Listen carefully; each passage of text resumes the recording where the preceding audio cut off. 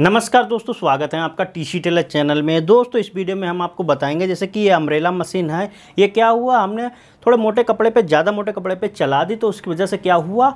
इसकी सुई टूट गई। और सुई टूटने के बाद क्या है? हमने नई सुई लगाई तो ये अब धागा नहीं उठा रही है। तो कभी भी अगर इस तरीके की प्रॉब्लम आए आपकी, मान लीजिए सुई वगैरह टूट गई है, उसके बाद धागा नहीं उठा रही है, या फिर टाँका साफ़ नहीं आ रहा है, सिलाई छोड़ रही है, चूँके दे रही है, या फिर सिलाई दे ही नहीं रही बिल्कुल भी तो ऐसे में आपको क्या करना है? सिंपल सा इसका शटल टाइमिंग ही सेट करना है, क्योंकि होता क्या है कि शटल में सुई लड़ जाती है, लड़के टूटती है तो उसके बाद जो है शटल घूम जाता है। तो थोड़ा सा भी अगर आपका आउट हो गया तो आपकी सिलाई जो है वो नहीं देगी मशीन।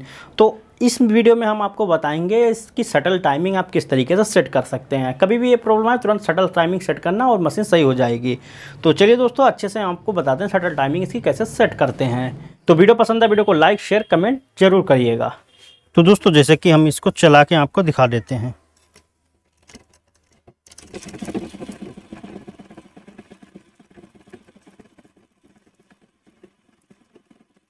तो देखिए, ये हमारी सिलाई बिल्कुल भी इसने मशीन ने नहीं दी है। तो अब हम इसकी शटल टाइमिंग सेट करते हैं और कुछ भी आपको नहीं करना है। तो शटल टाइमिंग सेट करने के लिए ऊपर से ही सेट हो जाएगी। तो आपको अच्छे से दिखे तो इसलिए आपको बूट को निकाल देना है, पटरी को खोल लेना है। इसको इधर करेंगे। तो देखिए, हम दांतें खोल रहे हैं इसलिए ताकि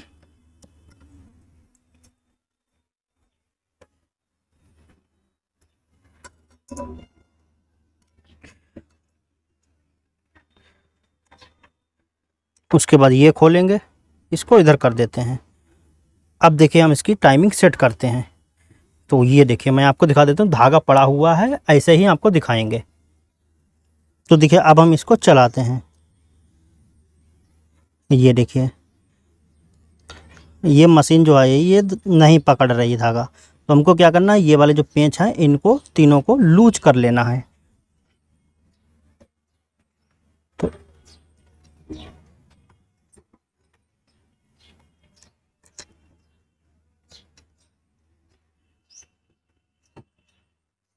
शटल पकड़ के लूज करना है।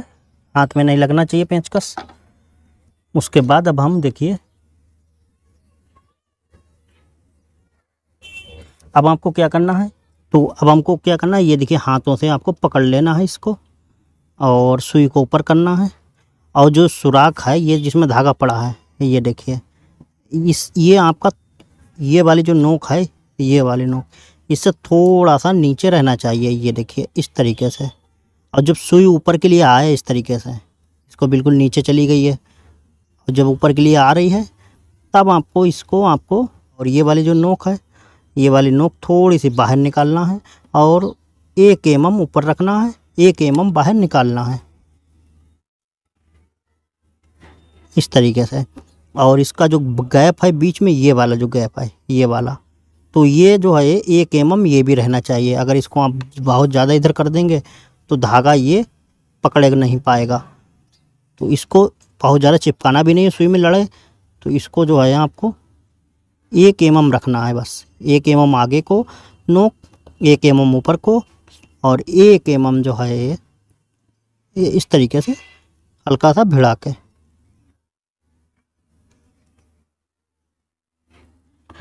ठीक है ना? अब इसको पकड़े रहना है इस तरीके से। अब आपको क्या करना है? ये पेंच टाइट कर देना है। पहले एक पेंच टाइट कर लेना है। उसके बाद अब सारे पेंच टाइट कर देना है।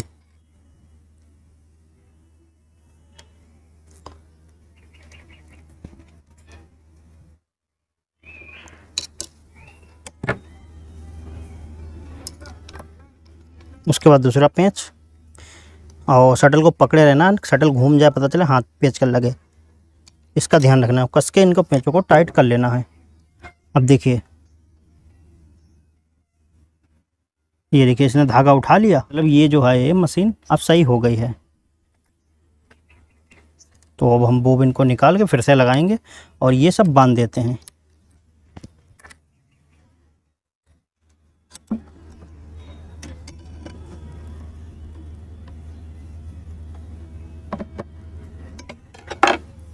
उसके बाद पटरी लगा देंगे।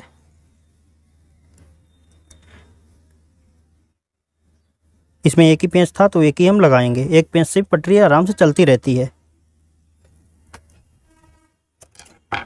अब देखिए, बोबिन लगा के धागे को ऊपर निकालते हैं पहले। तो पहले बूट लगा लेते हैं।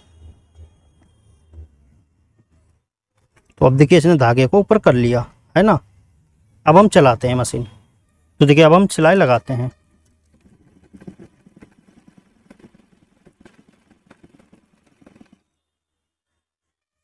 तो ये देखिए। है ना, चल रही बेहतरीन अब। टेस्टिंग पे चला रहे हैं।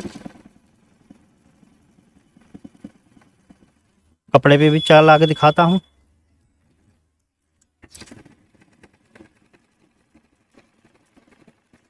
तो देखिए, टांगा कितना साफ़ आ रहा है। तो इस तरीके से आप दोस्तों इसको सही कर सकते हैं। तो वीडियो दोस्तों अच्छा लगा हो वीडियो को लाइक, शेयर, कमेंट ज़रूर करें। चैनल पर पहली बार आए बेलाइकन हाल पर ज़रूर क्लिक करके सब्सक्राइब कर लें।